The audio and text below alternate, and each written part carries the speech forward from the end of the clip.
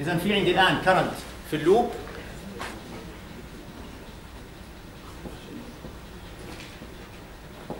ال commutator segment بيسمح لي إني أميز بين الكرنت باللوب والكرنت بالسيجمنت فالكرنت في اللوب راح يكون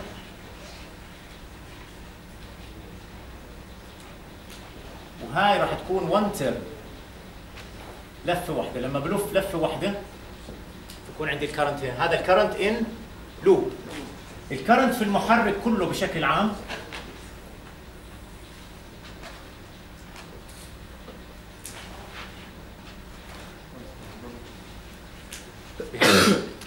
ال commutator segment سمح لي. إنه ال current اللي كان ماشي negative في ال loop هو فعليا في المحرك ماشي؟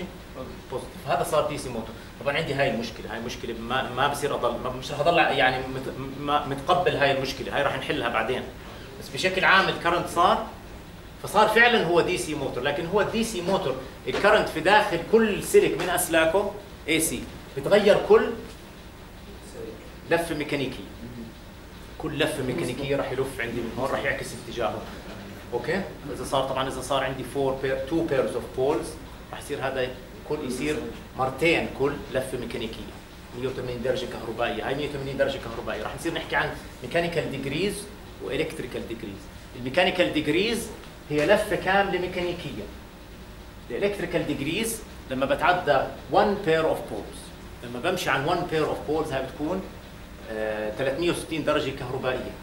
360 درجة ميكانيكية بكون لما بلف ميكانيكيا 360 درجة. بهاي الحالة هل في فرق بين ال electrical degrees وال mechanical degrees هدول متماثلين بالحالة هاي. لأنه عندي هون أنا لما بمشي هي 180 درجة كهربائية 180 درجة كهربائية. و180 درجة ميكانيكية 180 درجة ميكانيكية. في حالة ال1 pair of poles يعني هي 1 pair of poles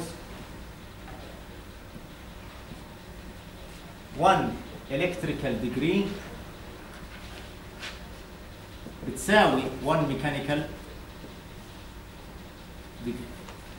لما يصير في عندي 2 pairs of poles بصير ال 1 electrical degree بتساوي ال 1 mechanical degree بتساوي 2 electrical degrees وهكذا أو 4 electrical degrees حسب عدد ال pairs of poles